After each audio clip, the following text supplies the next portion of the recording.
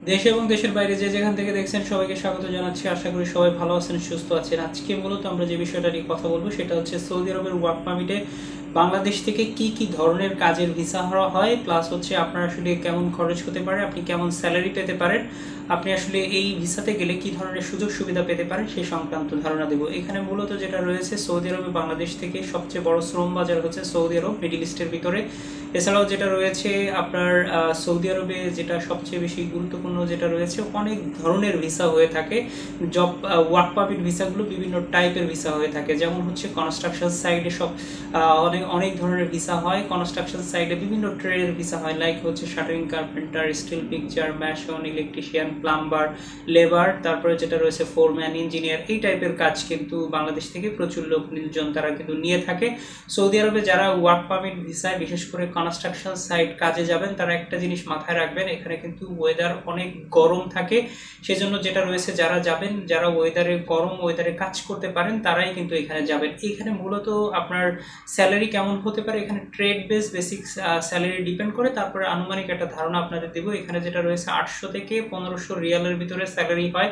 আমি average salary বলছি, যেমন হচ্ছে লেবারের এক ধরনের স্যালারি হবে, যাদের ট্রেড থাকবে তাদের এক ধরনের স্যালারি হবে। যারা ফোরম্যান ইঞ্জিনিয়ার থাকবে তাদের কিন্তু এক ধরনের স্যালারি হবে। আমি জাস্ট হচ্ছে টেকনিশিয়ান প্লাস হচ্ছে আপনি লেবারের স্যালারিগুলো বলছি। আপনার হচ্ছে আটশো রিয়াল থেকে শুরু করে আপনার পনেরোশো রিয়ালের ভিতরে স্যালারিটা মূলত আপ ডাউন করে। এখানে ফ্যাসিলিটিস থাকে, আট ঘণ্টা কাজ করতে হয়। আট ঘণ্টার বাইরে যদি আপনি কাজ করেন, তাহলে আপনি ওভার টাইমের জন্য এক্সট্রা টাকা পাবেন। আপনি যদি আসলে যেটা থাকে, আপনার এখানে কনস্ট্রাকশনের সাইডে কাজ করে বাইরে কাজ করার মতো খুব একটা সুযোগ সুবিধা থাকে না। এই জন্য যেটা রয়েছে, আপনার এখানেই কাজ করতে হবে। অ্যাকোমোডেশনটা ফ্রি দেয়। ফুড কস্টের পারপাসে কিছু কিছু কোম্পানি যেটা দেখা যায় যে একশো থেকে দুইশো রিয়াল তারা এখানে স্যালারির সাথে ইনক্লুড করে। এরপরে যেটা থাকে, আপনি যদি ওভার টাইম যেটাই বললাম যে আপনি ওভার টাইম করলে এক্সট্রা কিছু পয়সা ইনকাম করতে পারবেন। আপনার এখানে কস্টিংটা কেমন হয়? কস্টিংটা মূলত যেটা রয়েছে, আপনার আড়াই লাখ থেকে শুরু করে সাড়ে তিন লক্ষ টাকার মতো আপনার এখানে কস্টিং হতে পারে।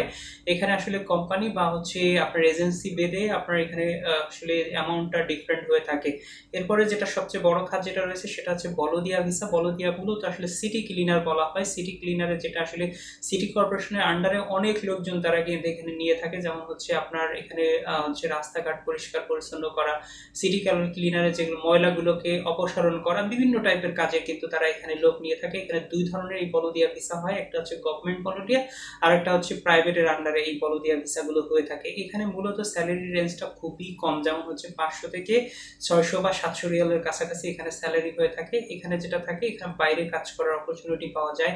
লাইক যদি আপনি এখানে ক্লিনার সিটি ক্লিনার হিসেবে কাজ করেন, অনেকে দেখা যায় যে বিভিন্ন ধরনের বাসা বাড়িতে টুকটাক কাজ করে। এছাড়াও যেটা, যেমন হচ্ছে বাসা বাড়িতে কাজ মিনস হচ্ছে যখন আপনি এটা ময়লা ফেলতে যাবেন, তখন হয়তো দেখা যায় যে তারা আপনাকে একটা কাজ এক্সট্রা করালে হয়তো কিছু টাকা আপনাকে এখানে এক্সট্রা দিতে পারে। সেই জন্য দেখা যায় এছাড়াও যেটা রয়েছে পেপসি বা হচ্ছে অন্যান্য যেগুলো আপনার কোকের ক্যান এই টাইপের জিনিসগুলো তারা এখানে গুছিয়ে কিন্তু এটা সেল করে ভালো একটা অ্যামাউন্ট তারা ইনকাম করতে পারে। সিটি ক্লিনারে মূলত যেটা থাকে, তাদের বাইরে ইনকামের একটা সুযোগ সুবিধা থাকে। এছাড়াও যেটা রয়েছে সিটি ক্লিনারে পোশাক করা থাকলে আপনি অন্যান্য কাজও কিন্তু টুকটাক করা যেতে পারে। এজন্য যেটা থাকে যে সিটি ক্লিনারে আপনার কস্টিংটা কেমন হতে পারে? সিটি ক্লিনারের কস্টিংটা মূলত যেটা থাকে আপনার এখানে ছশো রিয়াল থেকে আপনার এখানে কস্টিংটা মূলত আসলে স্যালারিটা যেটা থাকে এখানে মূলত আসলে পাঁচশো থেকে সাতশো রিয়ালের ভিতরে স্যালারি হয়। কস্টিংটা একটু তুলনামূলকভাবে বেশি হয়, সাড়ে তিন লক্ষ থেকে চার লক্ষ বা সাড়ে চার লাখ টাকার কাছাকাছি কস্টিং হয়।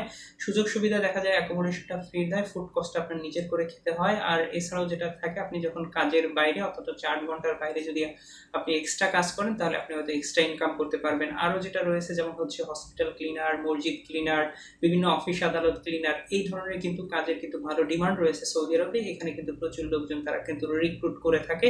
এখানে মূলত স্যালারি রেঞ্জটা থাকে হচ্ছে আপনার ছয়শো রিয়াল থেকে আটশো বা এক হাজার রিয়ালের ভিতরে এখানে স্যালারি আপ ডাউন করে। আপনার কস্টিংটা মূলত যেটা থাকে, আপনার এখানে যেটা আপনার তিন লক্ষ থেকে শুরু করে চার লক্ষ টাকার ভিতরে এখানে কস্টিংটা আপ ডাউন করে। আপনার সুযোগ সুবিধা প্রায় কাছাকাছি। আপনার যেমন হচ্ছে হয়তো আপনি এক্সট্রা টাইম কাজ করলে এক্সট্রা অ্যামাউন্ট পাবেন যেটা আপনাকে ওভার টাইম কাউন্ট করা হয়। এছাড়াও যেটা রয়েছে, আপনি আসলে ফুড কস্ট আপনার নিজের করে খেতে হবে, আপনার অ্যাকোমোডেশনটা তারা ফ্রি দিবে। অ্যাকোমোডেশন অর্থাৎ হচ্ছে আপনার টাকাটা তারা কিন্তু ফ্রি দিয়ে দিবে। এছাড়াও যেটা রয়েছে, আপনার মাজরার যে কাজগুলো রয়েছে মাজরার কাজগুলোতে আপনাদের না যাওয়াই ভালো। কেননা মাজরার কাজগুলো করা কিন্তু খুবই কঠিন কাজ। মাজরাতে আপনারা না যাওয়াই সবচেয়ে ভালো। এছাড়াও যেটা রয়েছে, আর অন্য অন্য ফ্যাক্টরি রয়েছে। আপনারা চাইলে ফ্যাক্টরির কাজগুলোতে যেতে পারেন। হোটেল রেস্টুরেন্টের কাজে কিন্তু বেশ অপরচুনিটি রয়েছে। তারা কিন্তু বাংলাদেশ থেকে মাঝখানে কিন্তু প্রচুর লোকজন নিয়েছে। এখানে যেটা থাকে এক্সপিরিয়েন্স ইয়াং বা ওয়েল এডুকেটেড এই টাইপের লোকজন কিন্তু তারা নিয়ে থাকে। বিশেষ করে আপনার রেস্টুরেন্টের ভিসা নিয়ে আমার একটা পূর্ণাঙ্গ ভিডিও রয়েছে সৌদি আরবের এই ভিডিও ডিসক্রিপশন লিঙ্কে সেই লিঙ্কটা দেওয়া থাকবে। চাইলে আপনারা পূর্ণাঙ্গ দেখে নিতে পারেন। তারপরে আমি একটা আইডিয়া আপনাদের দিচ্ছি। এখানে যেটা থাকে ফুড প্লাস হচ্ছে আপনার আবাসিক হোটেল বা রেস্টুরেন্টে কাজের সুযোগ সুবিধা থাকে। এখানে ওয়েটার থেকে শুরু করে আপনার chef assistant chef cleaning staff বিভিন্ন ধরনের লোকজন কিন্তু তারা নিয়ে থাকে। এখানে আপনার স্যালারিটা মূলত হচ্ছে আপনার এক হাজার রিয়াল থেকে শুরু করে পনেরোশো রিয়ালের ভিতরে আপ ডাউন করে। এখানে মূলত আপনারা যারা রেস্টুরেন্ট ভিসায় যাবেন, ধরে নেবেন যে আপনাকে অবশ্যই ডেলিগেট বা সদস্য ইন্টারভিউ ফেস করেই কিন্তু আপনি ভিসা নিতে হবে। এখানে আপনার স্যালারি রেঞ্জটা যেটা থাকে, আপনার যেটা বললাম, এই রেঞ্জের ভিতর স্যালারি থাকবে, আপনার অ্যাকোমোডেশনটা ফ্রি থাকবে ফুড কস্ট আপনার নিজে নর্মালি যারা রেস্টুরেন্টে কাজ করবে, এক থেকে দুবেলা হয়তো রেস্টুরেন্টের ভিতরে তাদের খাবারের ব্যবস্থাটা হয়ে যায়। আর এরপরে যেটা থাকে, আপনি যদি ওভারটাইম হিসেবে কাজ করেন, তাহলে আপনি এক্সট্রা স্যালারি পাবেন। এখানে কস্টিংটা আসে মূলত আপনার সাড়ে তিন লক্ষ থেকে শুরু করে আপনার চার লক্ষ, সাড়ে চার লক্ষ টাকার মতো স্যালারি আপনার কস্টিংটা হতে পারে। এছাড়াও আরও অন্য অন্য কাজের কিন্তু বেশ অপরচুনিটি রয়েছে। আপনারা চাইলে যে কোনো ভিসা ধরে সৌদি আরবে যেতে পারেন। সৌদি আরবের সবচেয়ে বড় কথা হচ্ছে আপনারা ফ্রি ভিসা নামে যে ভিসাটা আছে, এই ভিসাটা আপনারা কেন যাবেন না? কেননা হচ্ছে ফ্রি ভিসায় গেলে আপনি পরবর্তী সময় যখন আপনার আকামার মেয়াদ শেষ হয়ে যাবে, এই আকামা এক্সটেনশন করতে খুবই ঝামেলার সম্মুখীন আপনাকে হতে হবে। এই জন্য যেটা রয়েছে, আপনারা অবশ্যই কোম্পানির ভিসা ধরে যান। স্যালারি কম হলেও আপনি এখানে লং টাইম থাকতে পারবেন। আরও অন্যান্য সুযোগ সুবিধা আপনি পাবেন বোনাস পাবেন ইয়ারলি হয়তো দেখা যাচ্ছে যদি আপনার কোম্পানি ভালো হয়। আপনি আসার সময় হয়তো আপনাকে একটা আপ ডাউন ইয়ার টিকিট তারা ফ্রি দিবে।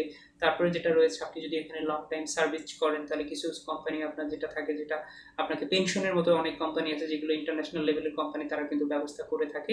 এজন্য যেটা রয়েছে, আপনার সৌদি আরবে সবচেয়ে ভালো হয়, আপনার কোম্পানির কাজগুলোতে যাবেন। আবার এছাড়াও আরও কিছু কাজ রয়েছে, যাদের ড্রাইভিং পেশা রয়েছে, আপনারা কিন্তু ড্রাইভিং ভিসা হেভি ড্রাইভার বা হচ্ছে লাইট ড্রাইভার তারা কিন্তু নিয়ে থাকে, আপনারা সেই কাজগুলোতেও যেতে পারেন। এছাড়াও যেটা রয়েছে, বাসাবাড়ি কেয়ারটেকার হিসেবে তারা কিন্তু লোকজন রিক্রুট করে, আপনারা এই কাজগুলোতে যেতে পারেন। আসলে অনেক মহিলা থাকে, তারা আসলে কমেন্ট করে যে, ভাই, আমাদের জন্য কোনো ভিসার ব্যবস্থা আছে কিনা? সৌদি আরবে যেটা থাকে, আপনাদের না যাওয়াই সবচেয়ে ভালো, কেননা এখানে প্রচুর সেক্সুয়াল হ্যারাসমেন্ট হয় অন্য সমস্যার সম্মুখীন হয়।